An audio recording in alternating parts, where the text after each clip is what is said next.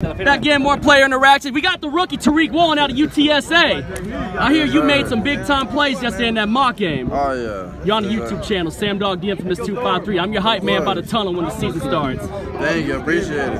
Hey. No, the scrimmage went good yesterday for sure. Hey, I want to see you pick six Russell Wilson in the first game against Denver. Hey, that's the goal, man. Hey, I said it, you do it. I'm setting you a goal, man. Of course, as long as we win, as long as we As long as win, we win, as long as that we matters. win. My boy, please. Yes, ma'am. Okay, thank you. Yeah. Got more peeps over there.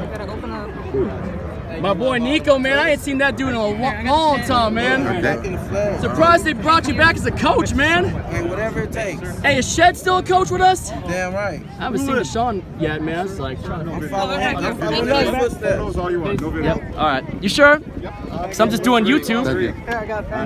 But I guess I gotta delete that one.